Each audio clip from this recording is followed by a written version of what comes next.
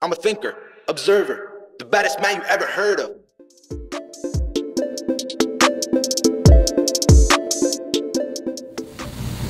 All right, welcome back everyone to another episode of the 2020 Vision podcast. I'm very excited for this episode as I have a special guest here with me today, and her name is Kiana Bernard. Hello, Queen. I am so excited to be here. So, my name is Kiana Bernard.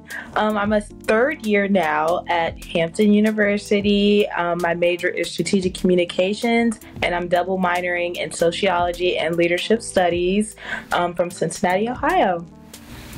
Awesome. Thank you so much for being here today and jumping on this episode with me. I know that this podcast has been about reaching out to different people and definitely trying to figure out, you know, getting out of comfort zones, allowing people to share what they um, have experiences of in college, and also talking about uh, different topics that are important also in your 20s. So, for today's uh, episode, we're going to be talking about it's called Take It Easy, right? And so I think when we talk about college as a whole, we don't give ourselves enough space for self care, right? And I know people look at self care as simple things of going out, taking a walk, or going to a spa. But I think you have to think of self care as like a psychological perspective of where you are understanding where your mental is at the current moment. And I mean, we can speak to a testament of our generation because I don't believe we value self care as much as uh, we should.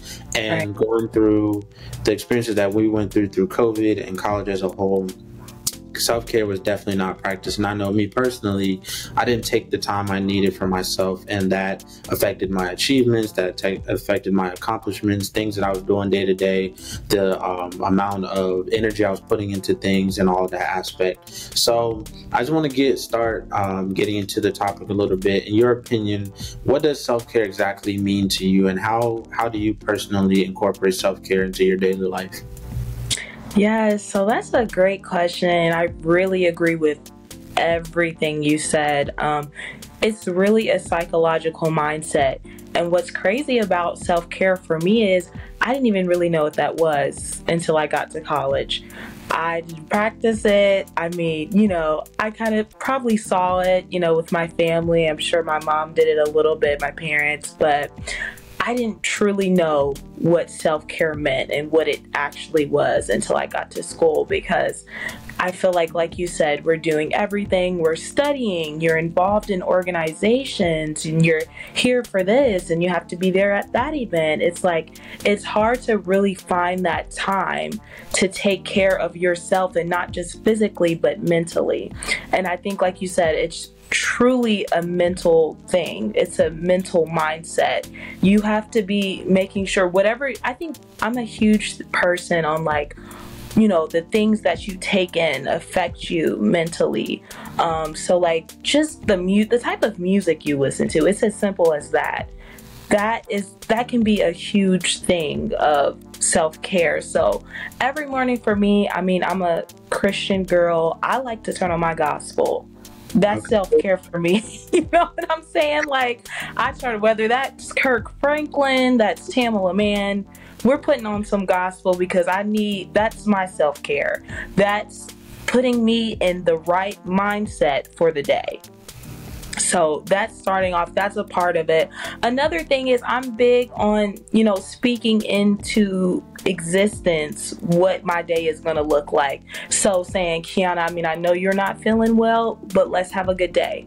Right. You know I'm saying? Let's not let I mean, things are going to come, but let's not let that bring us down. So, speaking those affirmations, as you would say, I do believe in those positive ones. Speaking that into your day, speaking that on your life, speaking that into your friend's life, um, speaking that, speaking those into every situation. I believe that's all part of self care every day. And just once you start doing those things on a you know, and making that a part of your routine, that becomes part of your self care and how you take care of yourself physically and mentally for me. Right, and I absolutely agree. You know, I one of the things that you said is like the whole mindset thing. You know, making sure that you are making it a priority first in your mind. And I think once you do that, you'll be able to say like, once I think about it, I should be able to incorporate it into my daily life. And so people think about self care as a whole, I think sometimes they don't think about how they can um, take the simplest things and make that a part of their journey. You know, Nice. so be easily, you know, waking up every day and giving yourself a daily affirmation, like you said, or even finding like that awesome playlist to listen to to get your energy going. Um, Yeah. if you want to go outside and smell the flowers, go go smell the flowers. Go smell them. You know, it's summertime. It's a really good time to be outside. I know some days it's hot for my people who don't like hot weather, but if you really want to just go outside and enjoy nature, I actually recently have been going out to different gardens around um, the city and being in Richmond, being in Maryland, going to gardens has been like very peaceful for me. And I, I was one of those kids as a child. My mom would be like, Saturday morning, Sunday morning, we're gardening. Like that was the thing I had to do, and you know I hated it, absolutely hated it. But as an adult, I appreciate why she did it because it was her hobby. That was something that truly made her happy, and she was trying to instill that into me also. And I think it's important that we talk about. You got to find that one thing that clicks with you, that really gives you that, you know, normal. Um, consistency that you're looking for and also take a break. You know it's okay to take a break. And i think you know you were telling me this earlier is that when you don't take a break you allow yourself to get wrapped up in whatever's in your head. And your head you know if you look at it from a visual image is literally like a ball of knots. Like everything is tied up together. You're doing so much at one time.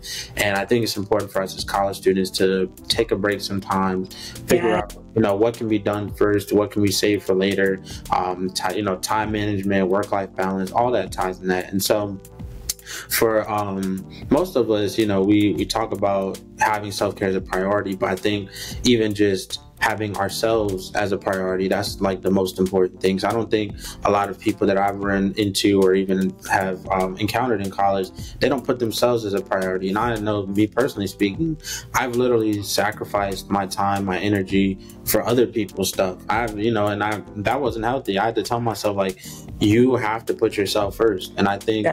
That's very important in the, in all of our journeys is that make sure that you're putting yourself first because when it's all said and done, you don't want to look back and say, "Wow, I didn't really give myself any time to you know get some stress free um, relaxation in there or get away from um, life's problems for a day or two. So that's really important. Um, and so going into the next thing, let's let's talk about the word burnout, right? And I, I think a lot of people burn out very easily. I know I did. Uh, my two years of college, I burnt out a lot, and it's so funny because there was a gentleman at Hampton that came to speak for a seminar, and he talked about burning out. He talked about making sure that you don't reach your last limit. And he he's talking about um, he went from new york to chicago to la to florida and he did that in the span of five days. And he said by the end of it he actually ended up in the hospital because he was burnt out from everything that he was doing. He was he's a lawyer so he was constantly traveling and practicing law. And i think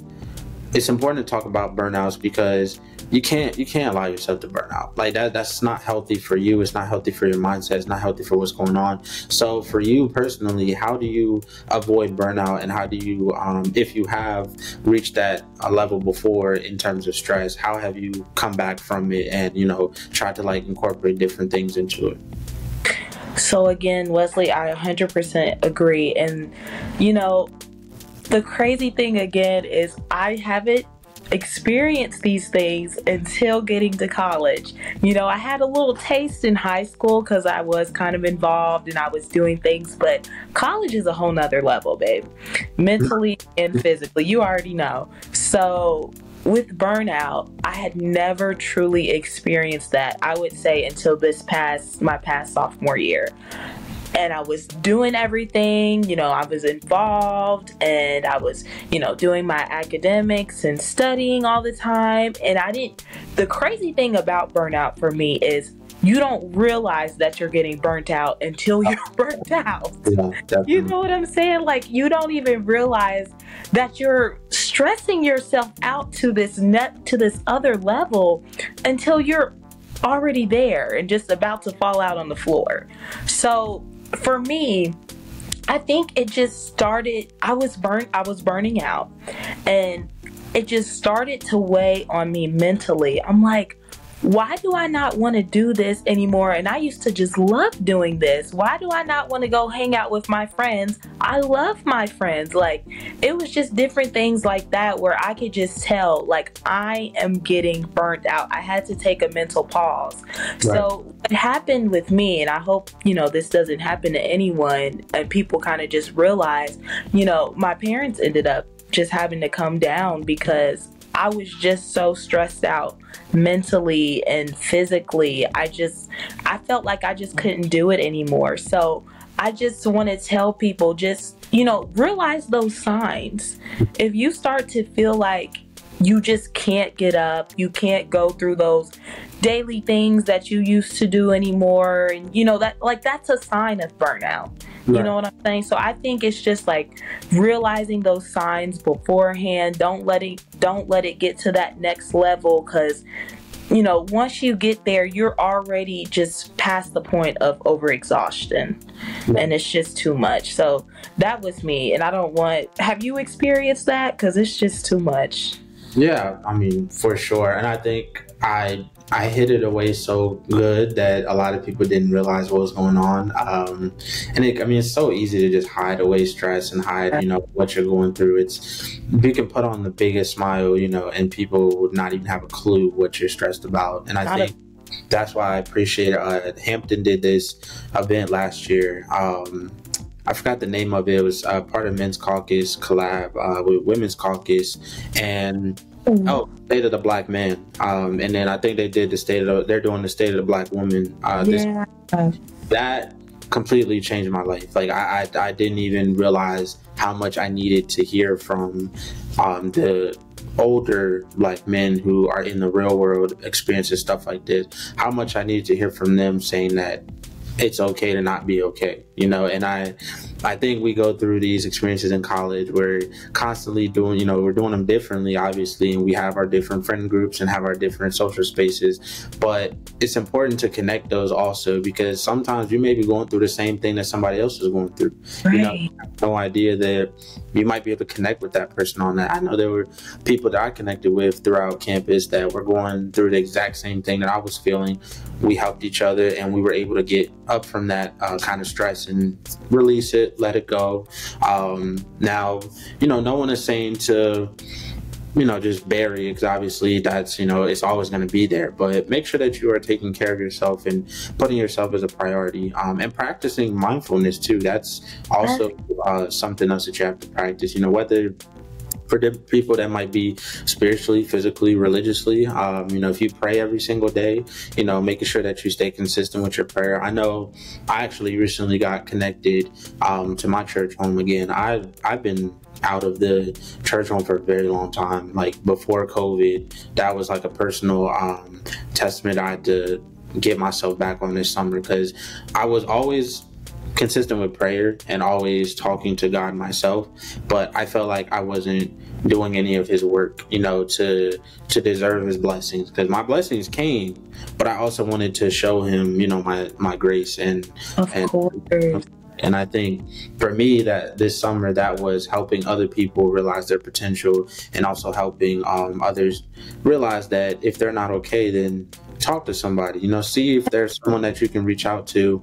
Um, I know that most schools have a counseling center. Most schools have, you know, space for you to be yourself, and also just you don't have to get deep and personal and you know tell all your business, but you can find somebody that you can relate to, and you know maybe if it's even it doesn't have to be a peer. Maybe it's an adult or you know maybe it's a family member. I just you know i really urge people throughout my college journey to reach out and really um, even you know and for anybody watching if you honestly have something that you can talk to my my phone number is on the website honestly and i will do my best to you know like i will do my best to make sure that they have all the outlets and the support they need. Because uh, it's important because if you're if you are fighting alone, then you're. I feel like if you're fighting alone, you're not fighting at all. You know, and that that that's what I feel. So, um, definitely agree uh, with that. And so, uh, this brings me to my last uh, point of this topic is you're talking about you know self-care and the healthy practices that you do for self-care so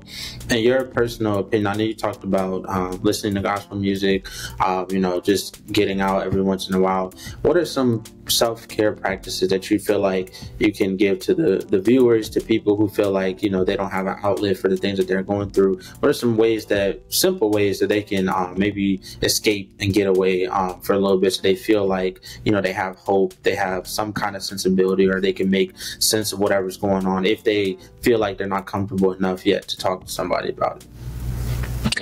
Okay, so that's a really good question. For me, if you feel like, because you know what?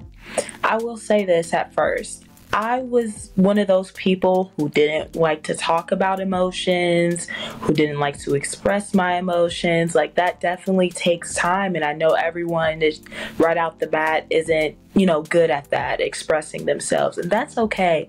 You got to take your time. You got to be in tune with yourself first. Right. So, for me, I've always journaled. And I know that's like cliche, you know, all the therapists say that, everybody says that, but for me that has truly helped. Um and this is just coming from a person again like who never like to express themselves. Like it took I didn't even really like to tell my best friend how I'd be feeling, how I'd be going through it cuz I just never liked to burden people. So journaling huge thing for me. That was huge for me. And I still do that. I've been journaling since I was like, let's say 13 years old. I mean, I used to, I tell my friends now, some juicy stuff in there. I mean, I just love to journal. It's a great way to get those feelings out. And they're not, you know, out there in the open. They're right there where you can secure them and keep them safe. So I feel like that's a good way. Um, exercise no, yeah. exercising is huge for me. I mean, girl, get in. I mean, I be telling my friends, get in the gym. Okay, you mad about your whoever get in the gym because I know I run. so yeah, I mean that's for me. That's those have really helped. Yeah, that's oh my goodness. Same gym has like completely brought me to a, a big big memory because I like this summer was the first time that I ever um, got like experience with the gym and actually started to um, invest in myself with the gym and it has changed my life. I'm not gonna lie. Um, like I used to joke with uh, I've joked with my mom this entire summer. It was like I was like I needed therapy this whole time. The gym is what I needed. Like I every emotion came out while I was in the gym. Like I felt like I was angry, go to get it in the gym. Sad, go get in the gym. Even happy, I would go and out a major worker. And it, it's like the gym, I think, is a, a great outlet because it allows you to accomplish something bigger than you know yourself, and also make personal goals. So, like for me, going into the summer, it was to just get healthier and.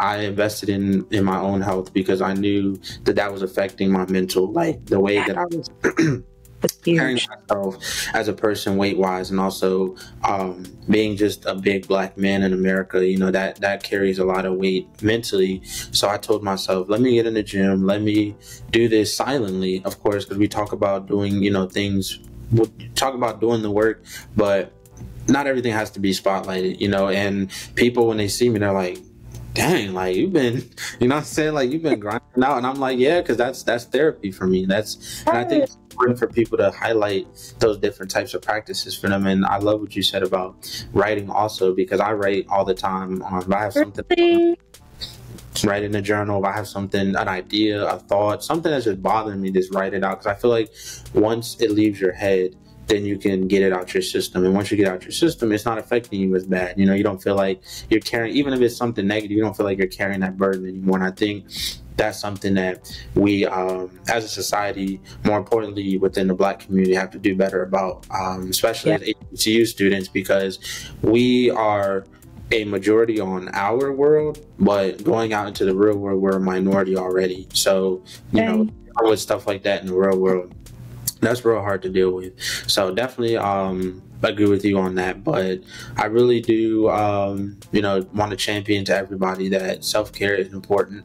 Um, knowing that you are not okay is important, and you are trying your best to, you know, get any type of support. And I don't like the, the term help because I feel like help, you know, feels like there's a big issue. But getting support is a better term because I feel like you need support in this life. You know, I talk about all the time. Uh, my dad saying that life is a team sport because it is. You cannot do this. you can't do this alone. You need a village, honey. That's yeah. what I and maybe more, maybe two villages. That's what I, I have. three or four. So yeah, um, you yeah. need to, honestly, it, it, you can't do this alone. And for the people that feel like they are doing alone, reach out, please, and make sure that you are take putting yourself first, taking care of yourself, and putting the best interest for yourself at heart. So, but thank you so much, Kiana. I really appreciate you jumping on this episode. I know everyone's excited for um, this whole season. I know we have so much more to uncover. Um, next episode, we'll be talking about open book, what it means to be an open book, being open minded, and also have another special guest, one that you might know, Miss Bernard. So definitely be excited for it. But if you have last minute things you want to say or any advice you want to add, um, this floor is yours. Oh my goodness. Well, I just definitely want to say thank you, thank you, thank you for having me. Um, this is definitely a new experience for me getting on here, but I'm so grateful for you and just the space that you allowed me to have and just having this very, very important conversation. I'm so big on this. I tell my friends at school, like, I'll just say this when she doesn't eat, I'm on her like her mama because that's mm. all it because you're not doing we're not doing that. You know what I'm saying? I'm quick to call it out. And that's why I just want everybody to know, like you were just saying, please just realize if you're ha- if you re- recognizing signs and you're going through some things, notice that now and just you know, start to work on it now. It's just so important because we're all going to go through trials in life. But like you said, it's better when we go it, through it together. So definitely, I'm just so glad we were able to have this conversation and I'm excited for these next episodes. All right. So I'm so excited. But thank you again. Um, and thank you to everyone that's watching. This has been a refreshing um, experience for me to be able to open up to anyone who's watching. I mean, I've even, I've been out and about. Um, crazy. Somebody I went to high school with um, saw me at a grocery store the other day and was like, "I saw your podcast. Like, this crazy. Like, I I never even thought that that would be my wildest dreams. And this is something that I had to gain the confidence to do and really experience um, self growth and knowing that maybe just maybe something that I say, something that I do, something that I promote might help change somebody's life. So it really is a, a, bittersweet moment. But thank you all for tuning in to this episode. We have so much more to store to come, and we'll see you on episode three. All right. Bye.